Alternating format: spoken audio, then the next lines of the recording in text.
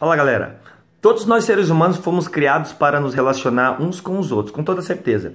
O relacionamento é um desfrute que nós seres humanos temos, principalmente por sermos o ser dentro de toda a esfera animal que consegue adaptar cultura e por isso é, o relacionamento é um dos frutos que a cultura pode nos fornecer.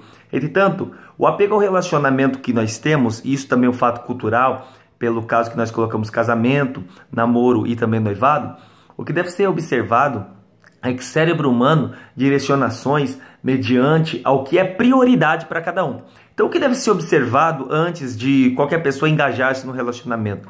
Haja vista que todos nós somos seres que emana e demanda é, um grande processo de carência.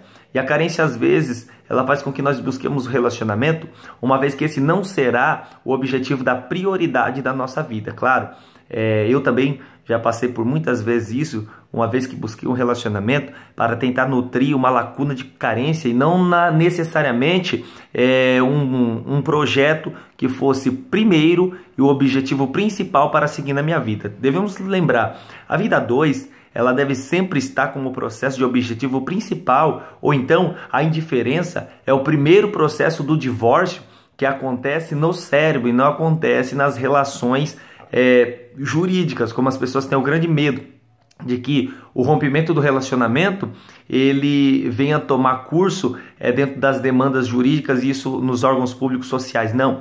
O relacionamento ele sempre deve estar como processo principal na questão cerebral, ou então Infelizmente, o divórcio já aconteceu na cabeça. Claro, isso é uma demanda sentimental e também cerebral. Quando nós tivermos a compreensão de que isso ou esse é o ponto principal e educarmos pessoas sobre esta diretriz, com certeza não teremos problema acerca do divórcio, não teremos problema acerca das relações, entenderemos muito bem o que levou a infelizmente aquele fim e quais foram os meios que procederam para isso. Então, espero que você pegue esse vídeo, compartilhe com seus amigos e que ele seja valioso para você, tá bom? Então, um beijo grande no seu coração, já sabe, fecha comigo, estamos sempre junto, valeu, Deus abençoe.